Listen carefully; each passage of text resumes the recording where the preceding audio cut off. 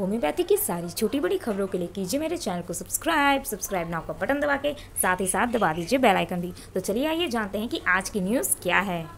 तो यहाँ एक सवाल है जो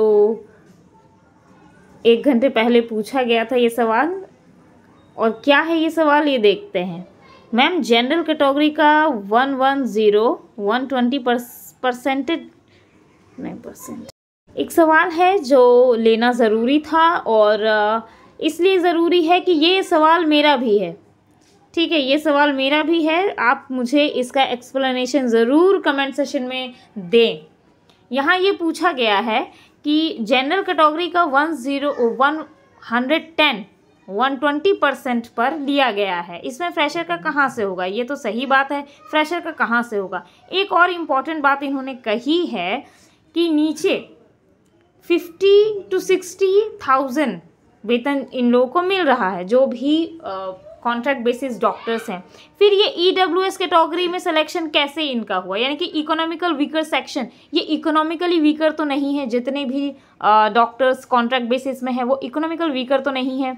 दूसरी चीज़ ओबीसी में भी मैं देखी हूँ कि काफ़ी ज़्यादा इनका कट ऑफ़ गया है। तो मेरा कहना है कि ओबीसी में भी ये क्रीमी लेयर में आते हैं नन क्रीमी लेयर में तो ये आते नहीं हैं। फिर इन्होंने, इन सभी ने, जितने भी डॉक्टर्स हैं आयुष के कॉन्ट्रैक्ट बेसिस में, सबने, फटाफट क्रीमी लेयर का नॉन क्रीमी लेयर का अपना सर्टिफिकेट बना लिया। ठीक है? और इस तरीके से आप जब उस कैटेगरी में आ ही नहीं रहे हैं, आप इकोनॉमिकल वीकर सेक्शन में नहीं आ रहे हैं, आप नन क्रीमी लेयर में नहीं आ रहे हैं, फिर आपने ये सर्टिफिकेट कैसे बना लिया? और ये बनाने के साथ साथ आप इसमें, आपका इसमें सिलेक्शन भी हो गया। तो ये क्वेश्चन तो सही बात है, ये जब आर्थिक रूप से कमज़ोर नहीं है तो इस कैटेगरी में इनको सिलेक्शन कैसे मिला? चलिए आइए देखते हैं कि कैटेगरी का कट ऑफ़ किस तरीके का रहा। तो ये है कट ऑफ़ जैसा कि आप यहाँ पे देख पा रहे हैं, थोड़ा और ये कर देती हूँ मैं। यहाँ आप देख पा रहे हैं कट ऑफ़ ठीक है? और कट ऑफ़ आप देखिए यहाँ पे कि ई डब्ल्यू एस का कट ऑफ़ जो है और थोड़ा सा इधर लाना होगा मुझे। देखिए E W economical weaker section में इनका सिलेक्शन हुआ है। यहाँ तक कि ई बी देखिए, ये देखिए बीसी में ईबीसी में इनका सिलेक्शन हुआ है। Sixty point thirty eight sixty point forty one ये कैसे हुआ है?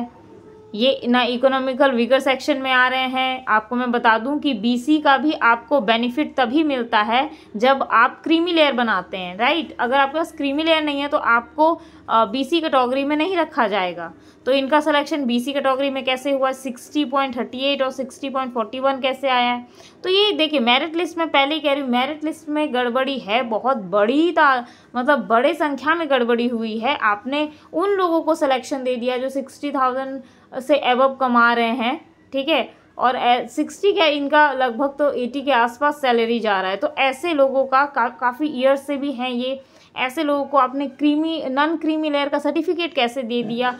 कहाँ से इनको इस तरीके का सर्टिफिकेट अवेलेबल कराया गया? जबकि ये अपना ऑब्वियसली आए तो बताए ही होंगे। किस तरीके से ये सर्टिफिकेट्स दिए गए हैं? इनका सिलेक्शन हुआ है। ये बहुत बड़ी मतलब क्या कह सकते हैं इसमें? बीसी में बीसी में कई लोगों ने कंप्लेन किया कि बीसी में यहाँ जो फीमेल का forty four point twenty nine दिया गया है यहाँ आप देख सकते हैं सबसे नीचे जो है ट्वेंटी नाइन सीट्स पे। तो यहाँ भी गड़बड़ियाँ हुई हैं।